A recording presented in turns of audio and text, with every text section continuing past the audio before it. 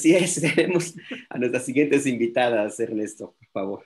Así es, y tenemos con nosotros, pues ya sabe, a una colaboradora de acá de Momentum, de Rompeviento y de Pie de Página, Aida Hernández, profesora e investigadora del CIESAS, integrante de la colectiva Hermanas de la Sombra, y también nos acompaña, tenemos el gustazo de que está aquí Márgara Millán, profesora e investigadora de la Facultad de Filosofía, eh, perdón, de la Facultad de Ciencias Políticas y Sociales de la UNAM, ya iba a decir yo algo ahí, y, y del posgrado de estudios latinoamericanos en las áreas de estudios de género y cultura.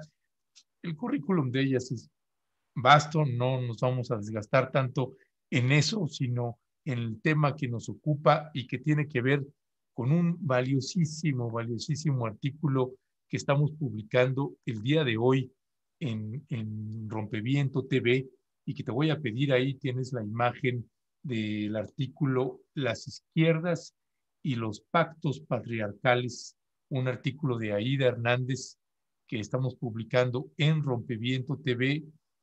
Y créame, créame que pues hay artículos que son lectura obligadísima y si usted da un seguimiento a la izquierda, a las izquierdas que usted conoce y concibe en el país, o en otros países estas izquierdas institucionales o las izquierdas antisistémicas, pues Aida Hernández no deja el paso ahí, no deja a nadie fuera del redil, todos están adentro y hace un balance ahora que estamos pues precisamente con ese tema en México. Aida Hernández y Márgara Millán, muy buenos días, bienvenidas.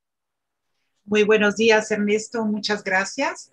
Eh, solo añadir que aparte de nuestras afiliaciones institucionales, eh, otra cosa que nos une a Márgara y a mí, por lo que estamos aquí juntas también, es que las dos somos integrantes de la Red de Feminismos Descoloniales, que es un espacio eh, crítico formado hace 12 años y que nos ha articulado en muchas alianzas de luchas políticas y académicas. Gracias, pues sí, pues sí. Aida, eh, doctora Aida, algo que me llama la atención de su artículo es ese recuento que hace usted de eh, la izquierda y la relación con el feminismo. Y me llama la atención este planteamiento, esta comparación que hace en el, en lo, con lo que ahora eh, sucede. menciona que hubo un tiempo en el cual el objetivo de las luchas de, de izquierda, por supuesto, era terminar con la burguesía. El feminismo eh, era concretar la revolución, terminar con, con, la, con, la, burguesía y las demandas de las mujeres del feminismo sería como consecuencia de conquistar ese bien superior. Eh, y ahora vemos que hay una, una situación que puede parecer, eh, puede ser similar o parecida, ¿no, doctora? pues mira, quiero aclarar, y lo puse un poco entre paréntesis, que evidentemente hay una gran diferencia entre la agenda de derrocar al Estado burgués y hacer una eh, dictadura del proletariado y los programas antipobreza de la actual administración. No quiero ponerlos al mismo nivel. Eh, le quería comentar que es muy interesante porque hoy en la mañana me empezaron a llegar reacciones a mi WhatsApp de algunos compañeros, colegas de lucha eh, muy defensivas, ¿no? Planteando que no puedes generalizar, no nos pongas en el mismo plano, todos somos iguales. pero lo que sí creo que tienen en común es la idea de que hay un objetivo que es el objetivo central y que los otros tipos de luchas nos pueden distraer de ese objetivo que es el central. Inclusive hace unos tres, cuatro días, en el caso eh, del presidente López Obrador, él dijo así literalmente, son demandas justas pero no centrales. Y esto, cuando yo lo escuchaba en la mañanera decir esto, de inmediato se me vino la, pues el discurso de los años 80, que fue el que me tocó a mí, con sobre todo con las izquierdas centroamericanas, que fue donde yo me formé, en donde te decían eso también. Ya vendrá, cuando ganemos la revolución les va a tocar a ustedes, en el mejor de los casos. En otros, la idea era que había también un rechazo abierto, diciendo que era una ideología pequeña burguesa que iba a dividir las luchas del pueblo. Ya, gracias, gracias Aida Hernández. Márgara Millán, un gustazo, tenía un rato que no nos encontrábamos, así que mucho gusto, bienvenida. Gracias, gracias por la invitación. Aquí estoy con mucho gusto también. Gracias. Márgara Millán, que eh, una mujer de mil batallas precisamente en estas redes, en estos temas que vaya que si ahorita están en, en, la boca de todas y todos, con candidatos, candidatas, con manifestaciones eh, eh, en las calles. Márgara Millán, ¿qué te provoca el artículo? Eh, este, en verdad, en verdad es que a mí he disfrutado tanto, Aida, este artículo que has escrito. ¿Qué te provoca este artículo que además una de las partes que yo rescato y que eh, pocas personas luego se han atrevido es abordarlo desde las izquierdas, eh, que ese es como el tema, no toques a los movimientos eh, guerrilleros porque estás golpeando a la lucha, no toques, no critiques al presidente López Obrador porque estás golpeando a la cuarta transformación, ¿Qué, te provoca el artículo de, de Aida Hernández? Sí, yo em, pues lo discutíamos con Aida desde antes, ¿no? Eh, me parece que cada vez es más importante hablar de los problemas que tenemos en el mismo frente de lucha, ¿no? Generalmente se ve la paja en el ojo ajeno y entonces parecería que el patriarcado le pertenece solo a los hombres de derecha y resulta que no, resulta que esto es una continuidad, es una cultura, ¿no? Es una cultura no solo ordinaria, no solo en el trato eh, cotidiano, sino también una cultura política, ¿no? Entonces, el señalamiento que tú haces es muy importante, o sea, empecemos a hablar, como bien decimos de repente, de lo que sucede en la propia casa, ¿no? De, los tratos que tenemos y de cómo esa cultura se reproduce Em, en los propios hombres y también mujeres del lado de las izquierdas, ¿no? Y esto ha sido continuamente silenciado eh, por múltiples causas. No solo existe ahí el, el pacto patriarcal, que por supuesto que lo existe, sino también una visión como muy unilineal de la historia y una jerarquización de los objetivos, una idea como que la historia es esto que se hace, ¿sabes? La, la realpolitik, la realpolitik, ¿no? Es, la historia es esto que atañe al poder, ¿no? Y el poder está concentrado en las instituciones y en el Estado y son los hombres quienes hacen esta gesta y las mujeres estamos ahí apoyando, ¿no? Eh, y la transformación de la sociedad vendrá después. Y eso, bueno, se ha comprobado pues tenemos la experiencia ya del socialismo realmente existente, en donde efectivamente el socialismo, fíjate, retomaba más agenda política de las mujeres que, que, nuestros gobiernos de izquierda o progresistas, pero que sin embargo se veía que el cambio de la vida cotidiana tenía que ver con una democratización radical de la vida cotidiana que se iba a manifestar en las instituciones y no al revés. No necesitamos hombres que nos salven tomando el, Estado y este, dándonos espacio. Necesitamos ser parte de esa lucha y definirla conjuntamente. Entonces, creo que eso es lo que está señalando Aida en su artículo cuando dice, bueno, los, los compañeros de izquierda en el trato cotidiano. Y fíjate que eso se habla ahorita un poco en todo lado, ¿no? En todos lados está surgiendo la necesidad de ser más congruentes, con, todos los posicionamientos. Y entonces, digamos, el movimiento de mujeres reciente, desde el Me Too hasta mi primer acoso, tiene que ver con eso, con una congruencia entre lo que se dice socialmente y lo que ocurre en el trasfondo de lo social.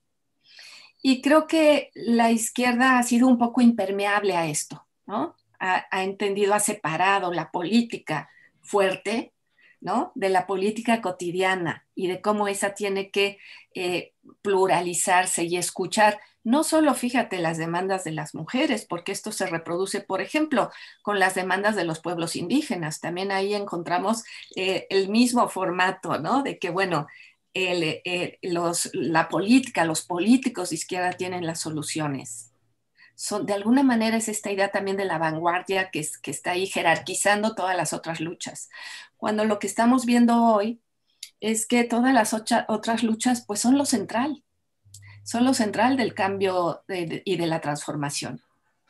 Eso te diría yo. A, propósito de, esto que dice Margarita Millán, eh, doctora Aida, eh, en su artículo también plantea esta contradicción de que como pocas veces hay tantas mujeres en el escenario eh, público eh, haciendo el reclamo de lo que se tiene que hacer, lo importante, pero al mismo tiempo existe de, la parte de la estructura gubernamental, pero también política y social, la eh, insistencia de que estas demandas se cumplan dentro de un sistema que las obligaría inclusive a, participar en agendas contrarias a, los derechos y a, lo, que están reclamando. Y, esto ocurre dentro de un gobierno y una administración que tiene mucha fuerza política, un gobierno que, llegó con una agenda eh, distinta a la, de otros, a la, de otras administraciones. ¿Cuál es el futuro? ¿Cuál es lo que viene en adelante con esta, no sé si llamarle disociación, contradicción, paradoja, doctora? Pues mira, es, es, un momento muy paradigmático en muchos sentidos, porque eh, por un lado, sí es cierto, tenemos una administración que ha incluido mucho más mujeres en los espacios de poder que las administraciones anteriores, eh, pero sin embargo, eh, mucho de su discurso sobre la austeridad republicana ha afectado muchos de los programas que se, de la institucionalidad de género. En ese sentido veo mucha similaridad con el gobierno de Correa, por ejemplo, ¿no?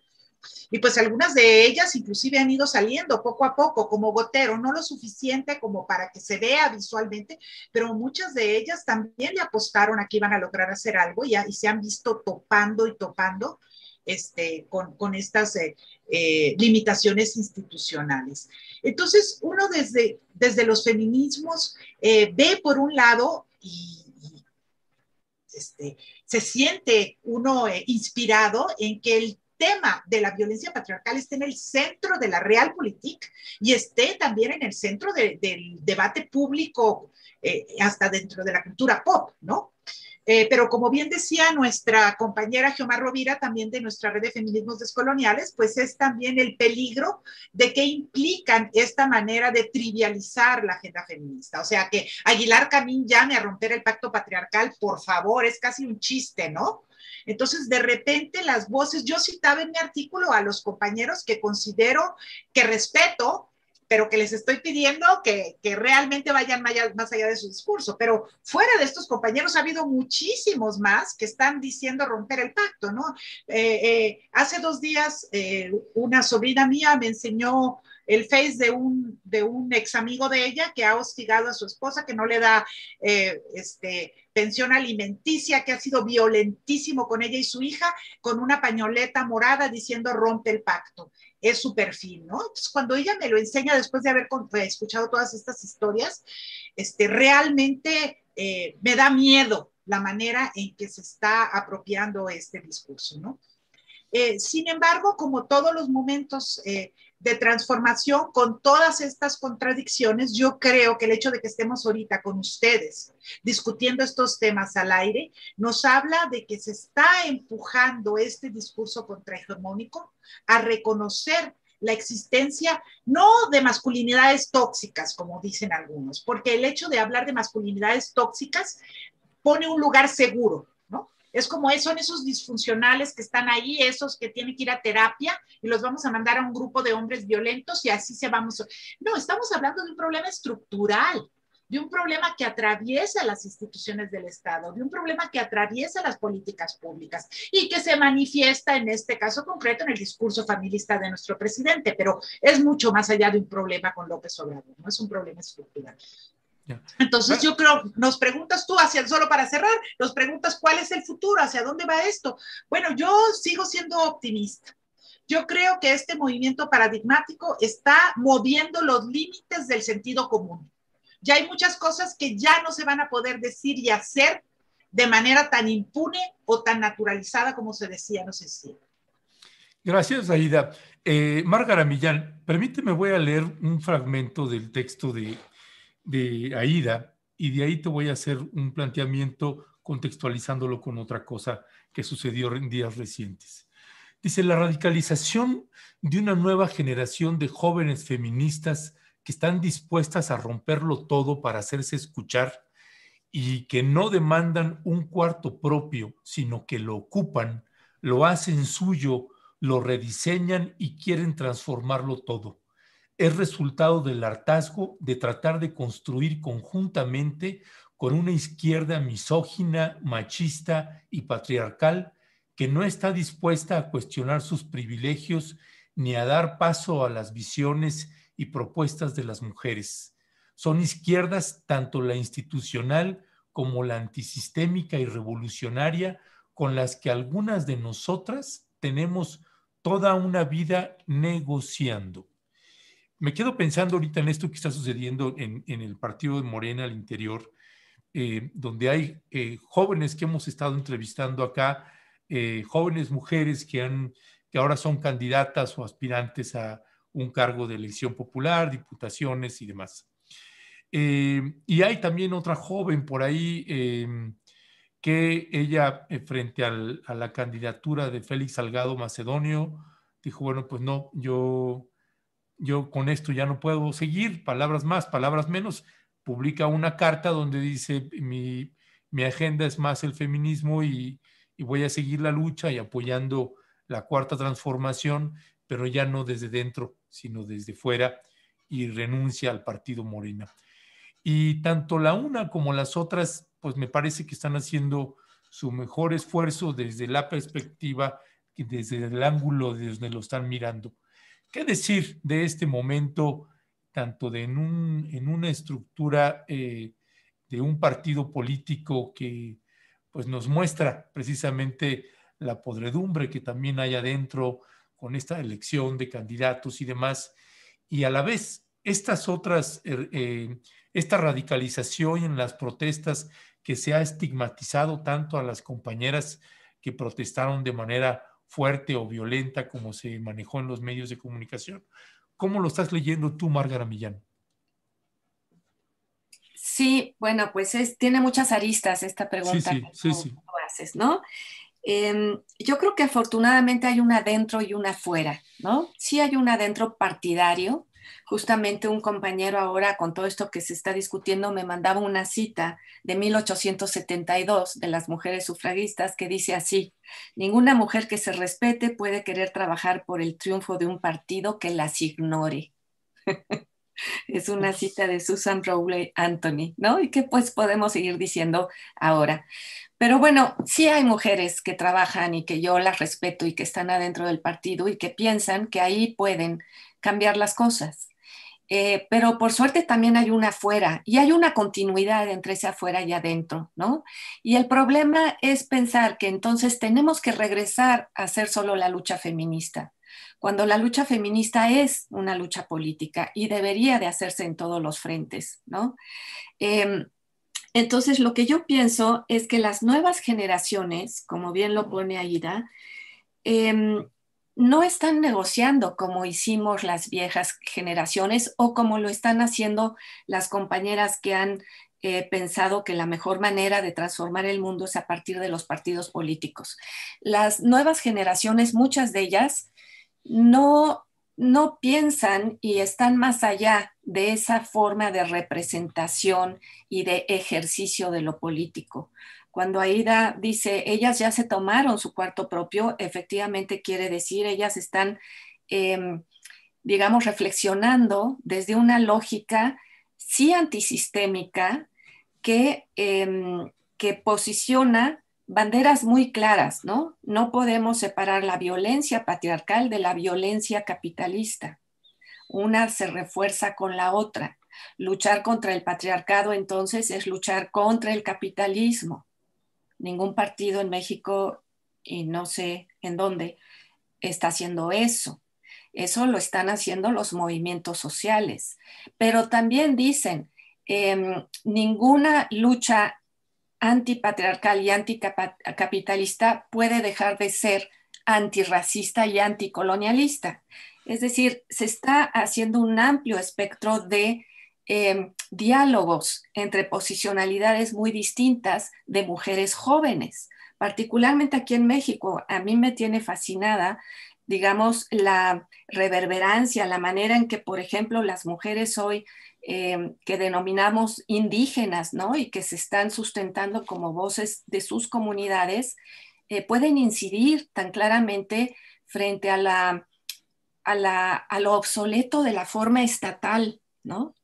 Mm. Y, cómo esto nadie en la izquierda lo puede estar reflexionando seriamente, porque la izquierda está pues muy enfocada en que el Estado es lo que, lo que hay que ocupar, ¿no? Mientras que acá hay ya todo un discurso crítico que no solo es de México, pero que México está aportando mucho, de las mujeres eh, indígenas, en donde se está planteando justo la problemática de las autonomías y de las autodeterminaciones, ¿no? ¿Y cómo lo está haciendo esto la nueva generación de mujeres jóvenes?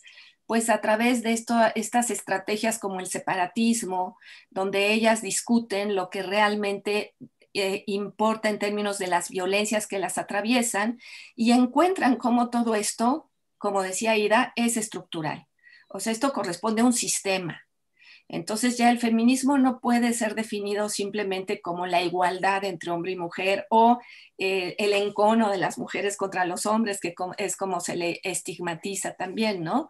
Sino como un discurso de cambio radical de las condiciones sociales que propician la violencia hasta qué punto esto puede ser acompañado por las formas partidarias.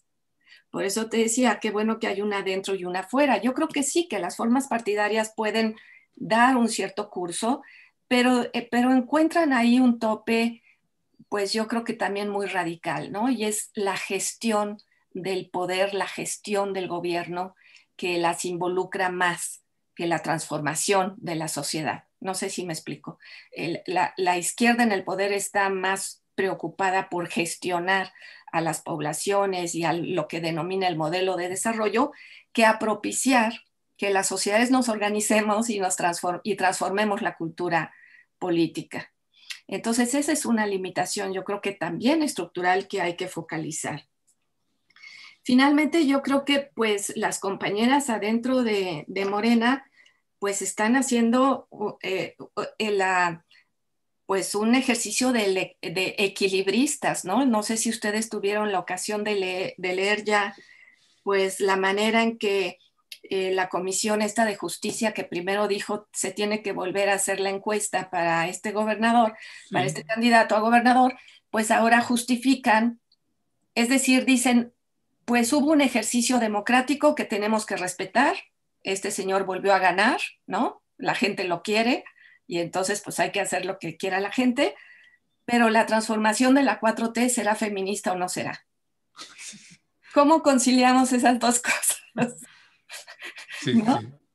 No, es, verdaderamente, pues, eh, y luego eso acompañado, acompañado de esto que estás diciendo, pues este tweet que eh, te pasé por ahí, Leonardo, precisamente de Félix Salgado Macedonio, cuando precisamente lo están colocando ya como el gran candidato de Morena, que además después de esta, de esa pues contradicción y, barbaridad de la que acabas de mencionar, pues este hombre termina diciendo viva guerrero, hay toro.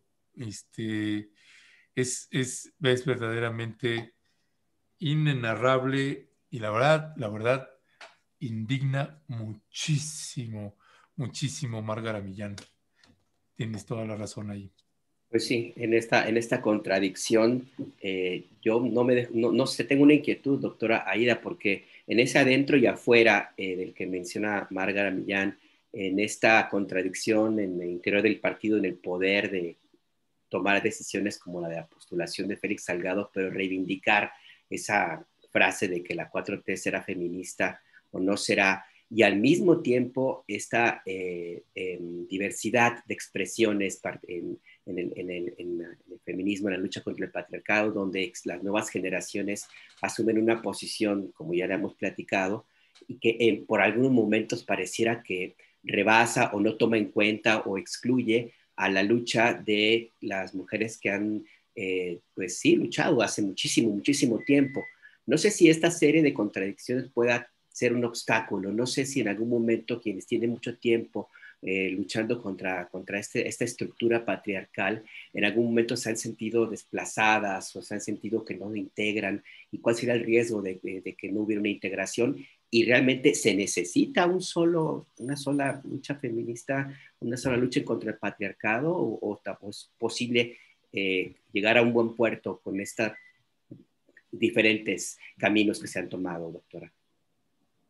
Ya, eh, yo pienso que es importante tener esta diversidad de voces que apuntan hacia distintas aristas, ¿no?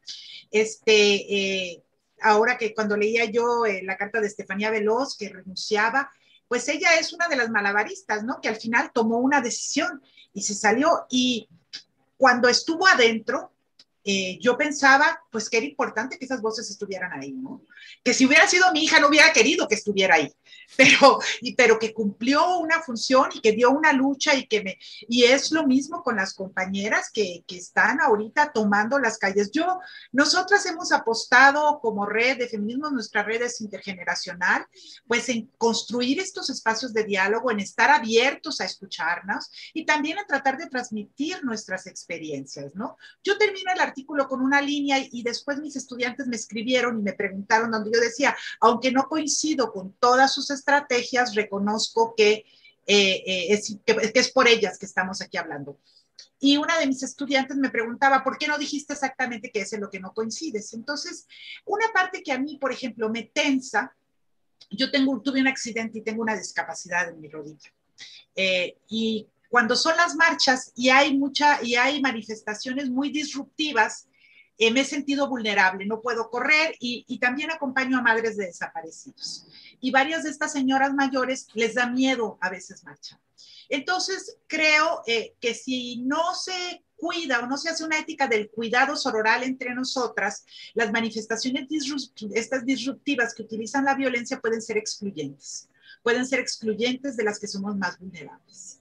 Pero este es el tipo de crítica que yo creo que se tiene que hacer, se tiene que dialogar con ella, se tiene que plantear cómo, cómo podemos eh, eh, desarrollar una ética del cuidado incluyente para que aquellas mujeres que están desde otros lugares participando puedan sentirse cuidadas y seguras si ellas optan por otro tipo de estrategias, ¿no? Yo a mí personalmente eh, no soy de quienes me preocupo porque grafitean los monumentos, para nada, yo creo que ahí estamos teniendo un nuevo tipo de manifestación simbólica este, pero lo que sí no me gusta es que si me caigo, no me levanten, que si me caigo, alguien se pare y me trate de ayudar, ¿no? Que haya una... Y también que si los negocios son pequeños negocios de un panadero, no son, ellos no son los enemigos. Los enemigos, si estamos hablando sistémicamente, no es el señor de la taquería, ¿verdad? Entonces, creo que ahí, pero en ese sentido a mí me parece muy importante crear... Eh, espacios de diálogo.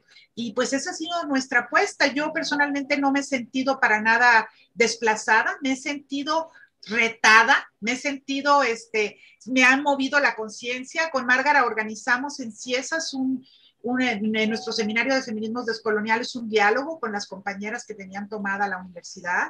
Fue un diálogo muy rico, fue muy importante porque había mucha estigmatización alrededor de ellas y fue una posibilidad de escucharlas y aprender. Y, bueno, para, para mí, por ejemplo, Silvia Marcos, que es una de nuestras compañeras de la red, no deja de sorprenderme. Ahora se reunió con algunas compañeras del bloque negro que fueron a pedirle disculpas porque ella no pudo estar en la marcha porque se sentía que no había espacio de seguridad y hubo un espacio de diálogo. Entonces yo creo que la apuesta tiene que ser, por un lado, de transmisión de nuestras experiencias, y esa era mi apuesta con el artículo, de transmisión de nuestras experiencias de manera transgeneracional, pero también de parte de las jóvenes de apertura a escuchar, eh, pues, lo que hemos caminado y hacia dónde vamos para poder construir un, este, pues un movimiento más incluyente, ¿no?